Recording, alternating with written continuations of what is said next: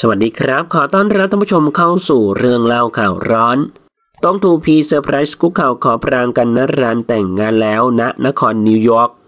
ต้องบอกว่าสิ้นสุดการรอคอยเมื่อแรปเปอร์ชื่อดังโต้ง Twopee คุกเข่าขอปรางกัญญ์ณรัณแต่งงานแล้วที่นครนิวยอร์กหลังก็ผ่านดูใจ 10 ปี เป็นอีกคนในวงการบันเทิงที่เราคุ้นหน้าคุ้นตากันดีสำหรับพิทวัส พฤกษกิจหรือโต้ง Twopee วง Southsideหรือ Twopee เป็นนักร้องและแรปเปอร์ชาวไทย ที่มีดีกรีตำแหน่ง MC แชมป์ประเทศไทย 2 ปีซ้อน จากงานประกวดโซดาสิงห์ Battle of the Year ประเภท MC หรือ microphone control แรปเปอร์และคว้าแชมป์ได้ถึง 2 ปีซ้อนคือในปี 2006 และ 2007 เขาโด่งดังจากเพลงไหวป่าว baby Sorry Welcome to the South Save His Life กระแทกคนไทย What's Up มีอัลบั้มเต็มครั้งแรกชื่อ Welcome to the South เขาเป็นหนึ่งในโค้ชในรายการ The Rapper ทางช่อง Workpoint ที่สร้างปรากฏการณ์ล้านวิวภายใน 24 ชั่วโมง และเป็นที่ทราบกันดีว่าโต้ง Twopee นั้นได้คบหากับนักแสดงสาวอย่างปรางกัญญ์ณรัณ โดยทั้งคู่นั้นได้คบหากันมานาน 10 ปี ซึ่งกว่าจะมีวันนี้ทั้งคู่ก็เคยเลิกรากันมาแล้วครั้งหนึ่ง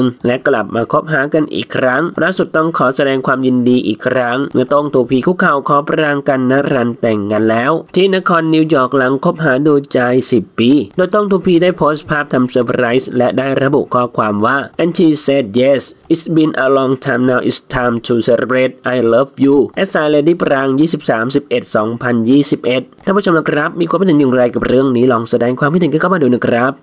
ขอขอบคุณข้อมูลจากทีนิวส์ขอบคุณครับ